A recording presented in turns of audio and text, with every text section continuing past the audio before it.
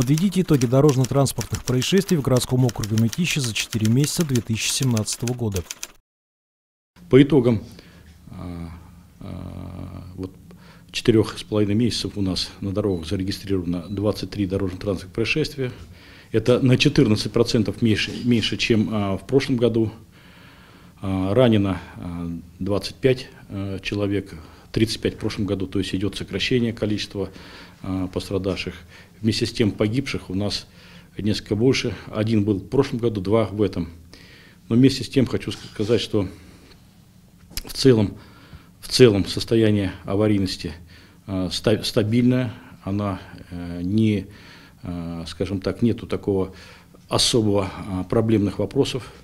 Даже с детской у нас аварийностью у нас в этом году значительно лучше по сравнению с прошлым годом.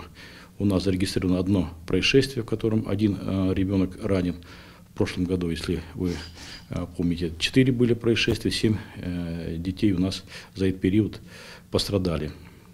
Какие виды дорожно-транспортных происшествий фиксируются чаще всего?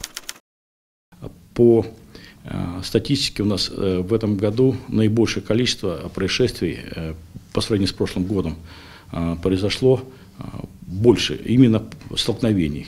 Не, хоть и незначительно, но немножко больше. 8 в прошлом году, 9 в этом. Э, и по э, второй составляющей проблемного нашего вида ДТП, это наездные пешеходы, зарегистрировано э, у нас 13 происшествий, 16 в прошлом году. То есть здесь динамика у нас более-менее стабильно идет. Хотя хочу сказать вот отдельно по видам происшествий, вот как наезды пешеходов, у нас остается проблемным вопрос, это наезды на пешеходов на пешеходных переходах.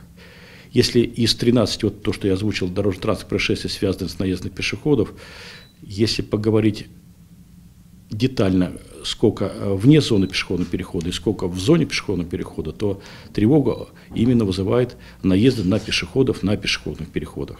В этом году зарегистрировано 8 происшествий на наезды на пешеходных переходах и э, 5 вне зоны. То есть в большей степени проблема э, на сегодняшний день выявляется именно э, в, в том, что водители не, э, не предоставляют преимущество пешеходам на пешеходных переходах.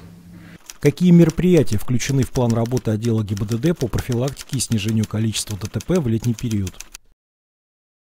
на территории Московской области, всей территории почти месяц, 18, 22 мая по 18 июня будет проводиться операция «Внимание, дети».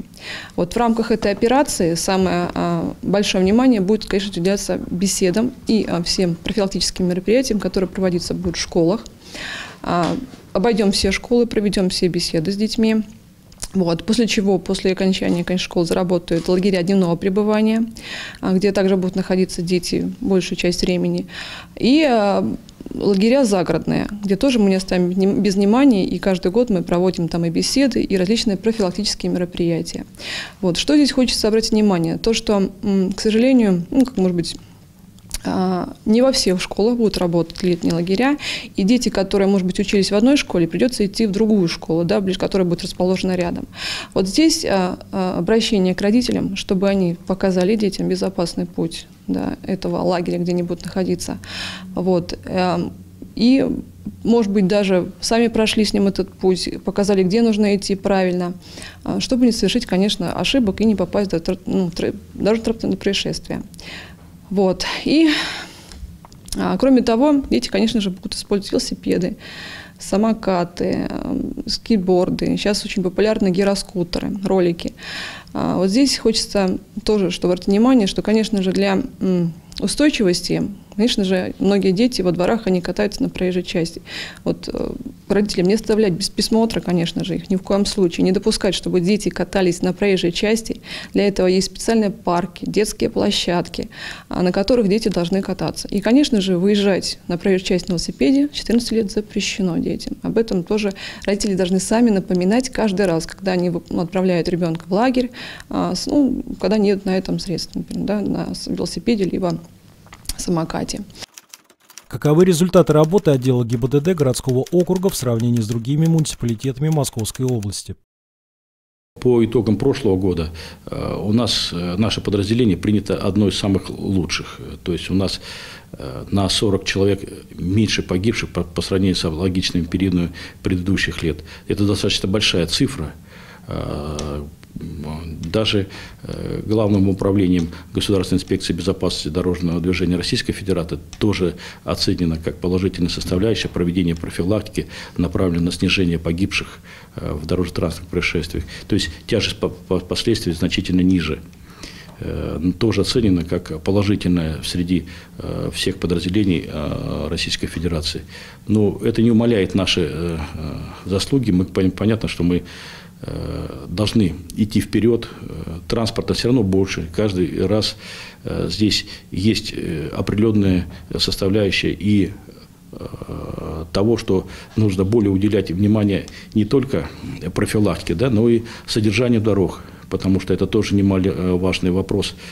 Конечно же, немаловажный вопрос – это и контроль за подвижным составом, который занимается пассажирскими перевозками.